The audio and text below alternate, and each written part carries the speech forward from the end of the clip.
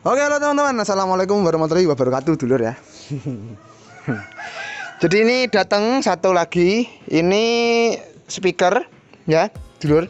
Ini speaker 18 in dari RCF Serinya L18 P400 Nah sebenarnya kita udah pernah punya Dan udah pernah unboxing Udah pernah review sebelumnya. Satu. Nah karena dulu itu cuma beli satu ya kan? Jadi uh, uh, speakernya itu jadi speaker yang RCF yang waktu itu videonya yang ini. Oke teman-teman jadi itulah uh, unboxing dan review singkat mengenai speaker RCF L18 P400 Nah jadi speakernya itu saya pakai untuk menghandle sub monitor. Nah tapi karena kan sub monitornya saya punya dua punya dua set gitu kan. Nah yang satu itu saya kasih Betavo. Jadi sebelahan gitu. Nah sekarang saya mau unboxing satu lagi karena saya mau nyamain. Nah, kenapa saya beli lagi untuk yang RCF ini? Karena saya suka dengan karakternya, karakter sub dan low-nya itu bener-bener kerasa. Walaupun ini yang KW ya, ini jelas KW karena harganya yang ya teman-teman tahu lah untuk RCF itu yang original itu harganya berapa. Nah, ini nanti kita mau pasang di box ini. Jadi yang uh, yang satu ini ya, ini yang saya udah lepas, ini yang dari box uh, monitor. Nah, ini nanti kita mau pasang di box yang ini. Nah, untuk yang ini yang sekarang ini box dalamnya ini pakai asli. Nanti saya mau ganti pakai yang RCF ini. Nah, sama-sama 18 in, cuma yang ini ya. Yang sekarang itu pakainya asli. Nanti saya mau ganti. Mau ganti pakai RCF ini. Ini agak susah. Hey awas ada paku.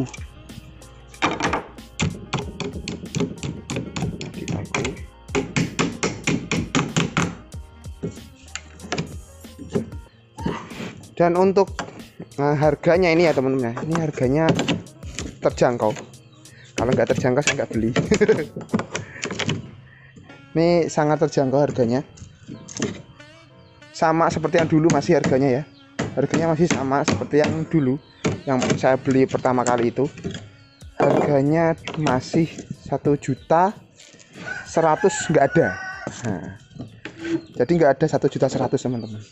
Makanya ini KW cuma karena saya suka dengan karakter suaranya hati-hati teman-teman.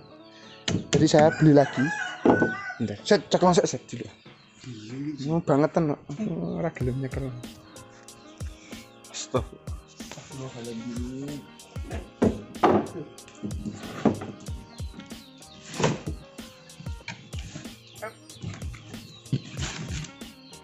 Nah ini speakernya teman-teman kita buka.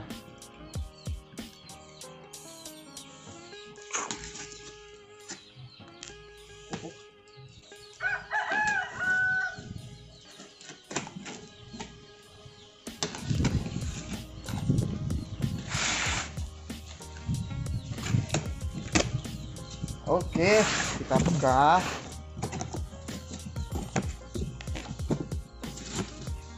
Nah,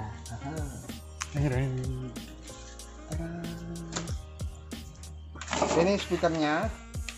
Kita baca dulu spesifikasinya. Nah, kok beda ya? Gak tahu lah nanti gimana ini. Ke kalau di sini ya. Nah, se, se kalau dulu yang kita unboxing waktu dulu ini kan kertasnya ini kan kertas spesifikasinya di sini. Teman-teman bisa lihat di sini ya untuk daya eh, frekuensinya di sini mulai dari 48 Hz ya sampai 3,1 kHz nah tapi nanti kita coba lihat berapa frekuensinya yang tertera di speakernya gitu. Pokoknya seingat saya waktu itu itu spesifikasinya beda.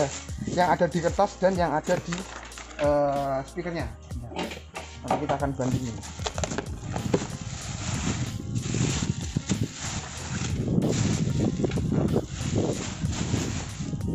Oh nah ini speakernya teman-teman.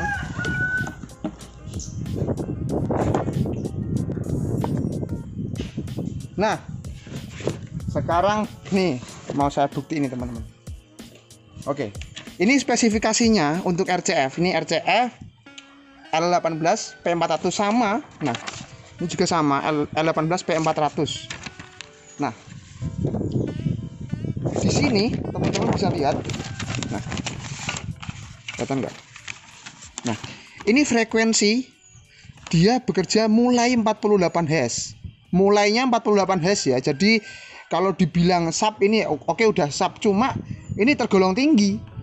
Cuma teman-teman bisa lihat di sini ya frekuensinya berapa? 25 Hz teman-teman. Jadi nggak tahu ini antara yang benar yang mana yang di kertas atau yang di speakernya. Nah cuma seperti ini teman-teman. Harusnya kalau speaker RCF ini di, uh, di battlein sama uh, asli karena asli itu seingat saya itu mulainya 45 Hz ya. Di di speakernya tulisannya 45 Hz di kertasnya juga 45 Hz nah ketika saya bandingin tebelan RCF jadi harusnya kalau menurut pribadi saya yang benar itu yang ada di speaker. Nah, jadi seperti itu. Jadi saya uh, berkeyakinan itu kalau yang di speaker yang benar 25 Hz nah, karena itu juga yang membuat saya beli lagi satu. Intinya di situ. Ini ini pembuat ini KW ya ini dibuat di Cina. Nah ini enggak ori ini ini KW tapi nggak apa-apa. Yang penting suaranya. Eh yang penting harganya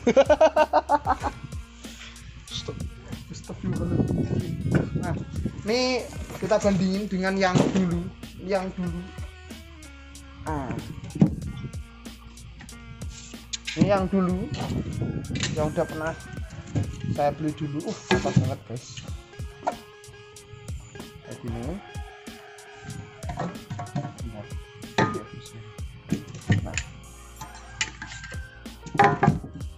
Ini aset. Nah, ini sama ya.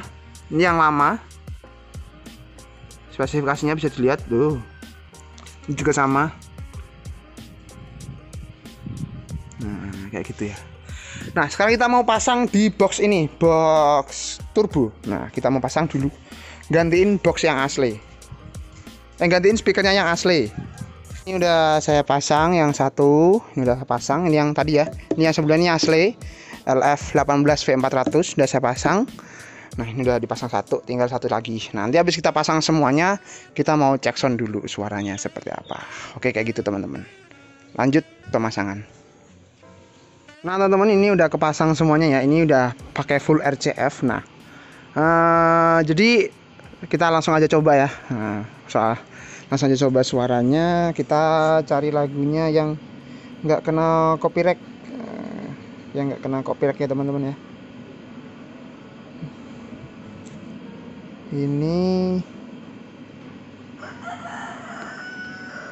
Kita cari yang nggak kena copyright. Coba. Kita cari untuk yang ini dulu. Oh iklan. Bentar. Langsung aja kita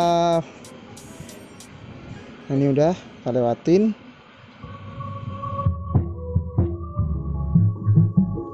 suaranya bener-bener tebel. Jadi untuk sub bener-bener bener-bener mantap untuk sub ya teman-teman ya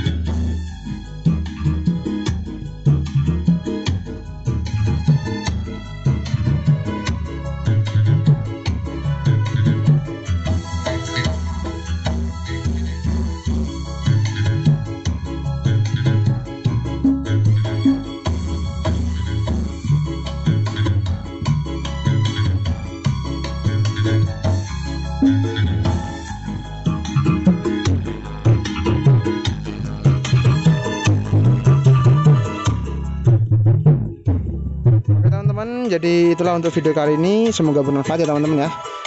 Um, kalau mau lihat uh, ini ya yang perbandingannya AC sama RCF teman-teman bisa lihat di video sebelumnya itu udah ada. Jadi tinggal dicek aja di video sebelumnya teman-teman. Oke teman-teman lanjut. Uh, semoga teman-teman tetap bisa menjalani hari-hari dengan penuh semangat dan tetap dengan penuh kelancaran. Oke assalamualaikum warahmatullahi wabarakatuh. Bye teman-teman